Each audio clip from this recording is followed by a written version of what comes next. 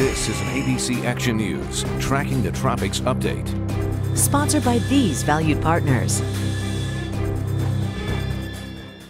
Hi, everyone. I'm meteorologist Jason Adams here with your latest tropical update. We've got Hurricane Lee just off the mid-Atlantic coast right now. Winds at 85 miles per hour. It's quickly transitioning into a extratropical cyclone where it loses those tropical characteristics. But the bad news with that is that its wind field expands. So we're still going to see tropical storm force-like conditions here as we look at the New England coast, especially from Cape Cod up through Maine and then getting into southern Canada. Landfall is expected east of the United States, but with the storm's wind field being so much wider than what it usually is associated with a tropical system. We're still expecting those 39 to 40 mile per hour wind gusts easily from Boston north through Portland and then getting up to Bangor, Maine.